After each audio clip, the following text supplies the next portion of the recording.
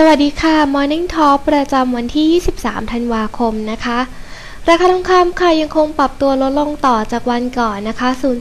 0.19%ลดลง 3 US ดอลลาร์ต่อออนมาปิดที่ 1,610.60 US ดอลลาร์ต่อออนนะคะ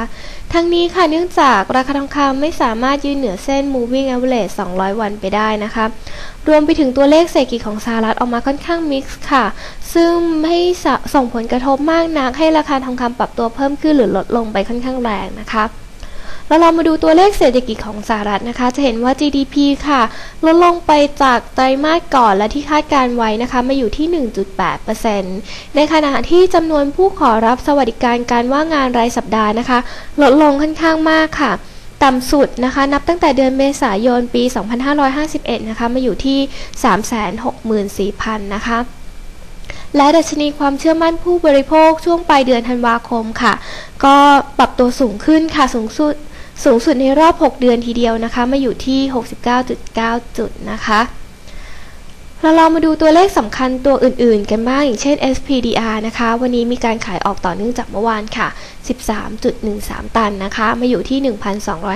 1,254.57 ตันค่ะ ค่าเงินยูโรนะคะ วันนี้ค่ะ มีการแข่งค่าขึ้นมาเล็กน้อยนะคะ มาอยู่ที่ 1.3055 ค่ะ ซึ่งการ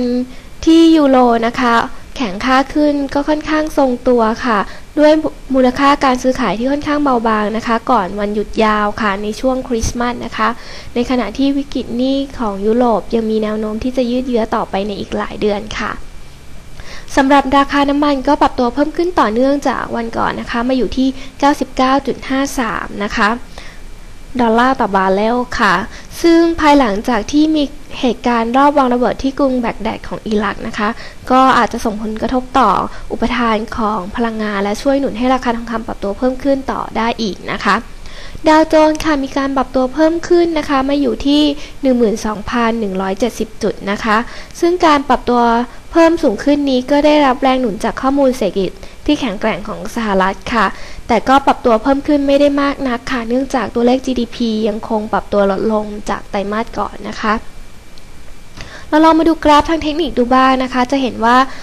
ราคาทองคำแกว่งตัวค่อนข้างเบาบางค่ะ แต่มีแนวโน้มที่จะอ่อนตัวนะคะ ซึ่งจะเห็นได้จากในราย 240 นาทีนะคะ จะเห็นว่า MACD เป็นบวกค่อนข้างเบาบางทีเดียว แม้ว่าเส้น Stochastic จะชี้ขึ้นนะคะ ในรายวันค่ะจะเห็นว่าราคาทองคำนะคะ เมื่อลดลงมาแตะที่ เส้นฟิโบนัชชี23%นะคะ ก็มีการแกว่งตัวเด้งขึ้นไปที่ 23%ค่ะ และเมื่อถึงจุดนั้นก็มีการย่อตัวลงมาค่ะ จะเห็นว่า MACD ค่อนข้างหนาแน่นนะคะ แม้ว่าเส้น Stochastic จะชี้ขึ้นค่ะ รวมไปถึงนะคะ จุดสูงสุดราคานะคะของสูงสุดและต่ำสุดนะคะ ลดต่ำลงจากเมื่อวานค่ะ ก็แสดงแนวโน้มว่าราคาจะอ่อนตัวลงมาได้นะคะ และทำให้ภาพเทคนิคในระยะกลางยังคงเป็นลบค่ะ นักลงทุนในระยะสั้นนะคะ ก็แนะนำให้ trading ในกรอบที่ 1,580 ถึง 1,620 ค่ะสำหรับนักลงทุนระยะ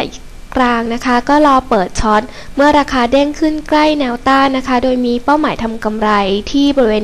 1,580 และถัดไปที่ 1,560 ค่ะ โดยมีจุด stop loss กันนะคะที่บริเวณ 1,635 ค่ะ ถ้าราคาปิดนะคะยังคงยืนเหนือ 1,600 นะคะ ก็แสดงว่าจะยังคงแกว่งตัวในลักษณะไซเวย์นะคะ ในกรอบ 1,580 ถึง 1,620 ค่ะ ไปจนถึงช่วงสิ้นปีนะคะโดยเนื่องจากแรงซื้อและแรงขายนะคะ อาจจะมีไม่มากนัก ถ้าแรงถ้าราคาไม่มีการปรับตัวขึ้นหรือลงแรงค่ะสำหรับวันนี้นะคะ Classic Go Future การวิเคราะห์ราคาทองคำในวันนี้จบลงเพียงเท่านี้นะคะ สวัสดีค่ะ